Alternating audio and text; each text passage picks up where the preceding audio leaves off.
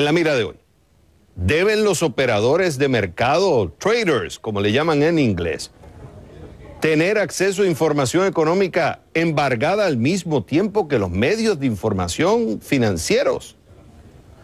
Need to Know News, una empresa que provee información financiera, ha, destacado, ha desatado la polémica. Ella, junto a otros medios de comunicación financieros como Bloomberg, Thomson Reuters, Dow Jones, compiten en el envío de información económica del gobierno a operadores de bolsa o traders, tan rápido como se hace pública.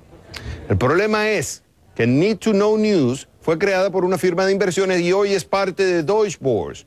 ¿Quién es Deutsche Börse? Una bolsa de valores, una empresa, digamos, como New York Stock Exchange o la Bolsa de Nueva York. Y se le acusa de permitir que la información llegue a operadores de mercado antes que al público en general sacando ventaja de la información antes que los demás. ¿Cómo? Una combinación de un sistema computacional y la rapidez de Internet que lleva a los traders a aprovechar la información. Antes de presentar a nuestro invitado, como siempre, les pedimos su veredicto sobre este tema en nuestra pregunta en Facebook. CNN Dinero pregunta, ¿deben los operadores del mercado tener acceso a información económica embargada, al igual que los medios, hay dos opciones. Sí, porque forman parte del público en general, o no, porque tienen una ventaja técnica. Es la pregunta para que voten y los invitamos a participar ya, pero si prefieren, pueden enviar sus mensajes y comentarios a nuestras cuentas en Twitter, arroba gfrías y arroba Xavier CNN. Vamos a hablar de este tema porque nos afecta como inversionistas y nos acompaña el autor Edgar Pérez. Él es experto en transacciones de alta frecuencia y él está en nuestros estudios de Nueva York. Edgar, bienvenido. Y la gente debe entender una cosa adicional de esta historia, que por cierto consigna el Wall Street Journal y ha sido muy citada. Y es que estamos hablando de em, eh, una empresa que hace parte de una bolsa de valores, que en la que hay operadores, a diferencia de los medios, medios tradicionales de comunicación y por cuyo servicio de información eh, eh, cobra. ¿Cuánto llega a cobrar? Hasta 375 mil dólares. Aquí la pregunta es si no hay una ventaja ahí que, eh, que le está retirando la, digamos que la equidad en la recepción de la información a esta al resto de los periodistas y medios versus esta empresa que es de la bolsa. Sí, la pregunta en realidad es parte de una pregunta mucho más compleja, que es lo que se llama en inglés High Frequency Trading. En este caso, por ejemplo, es el caso de una compañía que está dedicándose a proveer información a traders que en realidad necesitan esa información para operar a la velocidad que ellos quieren operar. Como expliqué en mi libro The Split Traders, que es el primero que lo he sacado hace un par de años, en realidad High Frequency Trading es una manera de operar los mercados que es abierta a cualquier tipo de inversor. Los hedge funds lo hacen, los grandes bancos lo hacen, hay compañías que se dedican, empiezan con tres, cuatro personas y se dedican a hacer esto. Y para usar este tipo de trading, ellos requieren acceso a información almost instantánea. Entonces, los mercados bursátiles, por ejemplo el NYSE o el Nasdaq, ellos proveen esta información al mismo tiempo para todos los participantes. Sin embargo, los traders pueden recibir esta información rápido porque ellos acceden a esta información usando conductos privilegiados por los cuales ellos pagan. Pero vamos por parte, pero hay una cosa. Hay acaba una de decir hay una cosa. Si yo soy trader y yo necesito esa información inmediata es porque yo sé que en el mercado alguien ha tomado una posición contraria a la información que sale. Y yo quiero especular con esa información. Si yo saco ventaja de esa información antes que el público general, yo puedo sacar ventaja en el mercado. Entonces yo estoy sacando una ventaja en comparación a los demás, a modo de ejemplo. Si yo tomo una posición de que la tasa de desempleo va a bajar y subió, yo voy, una vez que yo me entero de esa información, yo voy a cambiar mi posición. Entre el momento que sale la información del gobierno y yo decido cambiar mi posición en el mercado, alguien va a sacar ventaja que son estos traders. El problema es que estos traders están diciendo que nosotros somos medios de comunicación. Entonces cogen esa información y la transfieren de forma rápida a través de lo que tú dices, usando esa información, eh, eh usando matemáticas, algoritmos. Entonces, ¿qué pasa? Esa ventaja la tienen unos sobre otros cuando no debería ser así. Si tú tienes información privilegiada, No deberían todos tener el acceso igual a la información. Por tanto, una vez que todos reciben la misma información, los traders no van a poder hacer la, eh, plata porque ya todo el mundo sabe la, información. Y ese es el debate acá.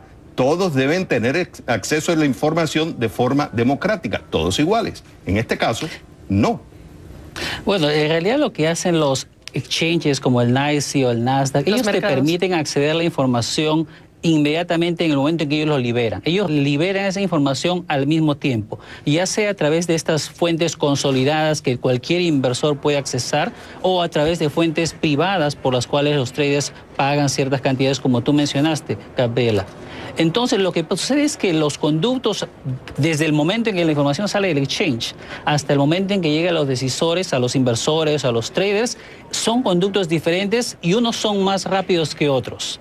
Legalmente, el exchange está protegido porque ellos liberan la información al mismo tiempo. Okay. Por el otro lado, los inversores, como yo, que por ejemplo compraría acciones de Apple, yo por ejemplo no podría invertir en una infraestructura de millones de dólares para poder usar esa información rápida y hacer operaciones. Pero puede haber otra compañía, por ejemplo, que mi sobrino estudió ingeniería financiera, él trabaja para un hedge fund y ellos sí han invertido millones para poder usar esa información y poder sacar ventajas de esa información. Por supuesto, bancos como Goldman, como Morgan Stanley, tendrán operaciones incluso más complicadas en las cuales ellos pueden hacer ese uso de esa información que ellos pagan para tener acceso rápido. Ok. Ahora, yo sé que hay un tema de unfairness, que un tema de, que no, no suena correcto. Es cierto, suena así, pero déjame explicarte. En cualquier mercado, no solamente en estos tiempos en que el comercio electrónico, el trading electrónico está tan popularizado, sino hace 100 años, hace 200 años, siempre han habido personas que están en los medios financieros o compañías que han tenido ese acceso más rápido. Si tú te recuerdas, hace 30 años, 40 años, cuando el movimiento bursátil estaba en el floor del New York Stock Exchange, todos los traders estaban cerca de los especialistas, que eran los que manejaban esa información. No era electrónico, en ese momento era solamente ir al costado de ellos, escuchar lo que ellos decían y ya tenían acceso a una información que un inversor que estaba con su teléfono o que estaba en una página internet de hace 10 años no, nunca podría tener acceso. Ahora, lo cierto también es que los inversores que están en una página de internet o que están con el teléfono, ellos no están buscando hacer dinero en un segundo o en un microsegundo. Ellos quieren invertir para un largo tiempo. En cambio, los inversores, los traders a los que mencionamos, o los speed traders, como lo describo en el libro, ellos sí quieren hacer ese dinero en ese segundo. Pueden ganar como pueden perder, pero esa es su manera de ejecutar transacciones y eventualmente todos los inversores deberían ser servidos por el mercado. Bueno, eh, eventualmente en el mundo ideal, y como dijiste, eh, no, no funciona así necesariamente, pero aquí hay un factor que es importante de considerar. Todos estos mercados compiten por el negocio, es decir, el NICE quiere traerse a la empresa que va a sacar una oferta pública inicial y que no se vaya al Nasdaq o no se vaya a otro mercado en otro punto del continente o del planeta, por un lado. Por otro lado están las empresas que como esta firma, que es una firma con operadores y, y, que hace transacciones con la información, también están compitiendo por un negocio. Y es un negocio de quien recibe primero y más rápido, procesa e incorpora la información a esas transacciones. La parte que a mí me parece interesante para nuestros televidentes es hacerlos, llevarlos a este momento en el que la información está embargada. ¿Y por qué es importante? Porque aquí la competencia eh, funciona igual para todos, medio financiero o no, pero para todos. Y ya cuando se levanta ese, embargo y se da a conocer una cifra de desempleo, por ejemplo, entonces aquí empieza esa carrera por ser el primero para llegar a dar esta, esta información. Entonces, si tú dices que el mercado eh, funciona así, la pregunta es si debería ser considerado este medio en particular como medio de comunicación y tener acceso a esas sesiones de información bajo embargo o esperar a que todos los que compiten con esa empresa pues reciban la información al mismo tiempo. ¿Sí me explico? Es el lado de la regulación. Yo estoy de acuerdo contigo en que cualquier información que esté embargada sea liberada al mismo tiempo. Los casos que se mencionaron en este reporte hace unas semanas mencionaban de que, por ejemplo, habían personas dentro de estas reuniones que de alguna manera liberaban esta información a través de un teléfono o de ciertas cámaras. Y obviamente eso está, eso no es permitido, eso no debería ser permitido. La, la información tiene que ser liberada al mismo tiempo y si hay traders que quieren accesar esa información más rápida, pueden pagar por medios que pueden ser muy caros y para algunos imposible de alcanzar, pero los exchanges siempre van a liberar la información al mismo tiempo. Si hay motivos para sospechar que esta compañía ha estado infringiendo esa regla de que la información ellas tengan acceso al mismo tiempo o lo liberen al mismo tiempo, eso debería ser penalizado. La, diferencia, Pérez, aunque ya nos tenemos que ir, pero la diferencia es que un medio financiero informa a todos por igual. Este tipo de, de, servicio lo que hace es informarle a los traders que van a sacar el beneficio de la reacción que va a tener la gente cuando reciba la información. Y tiene una ventaja y se dicen que son medios de comunicación, lo cual no son porque ellos están dando una información específica para traders que van a sacar un beneficio económico sobre la reacción de esa información. Este es un tema, Edgar eh, Pérez, nos tenemos que ir, pero es un tema que vamos a seguir discutiendo y te vamos a seguir invitando. Edgar Muchas gracias. Gracias por estar con nosotros. Gracias.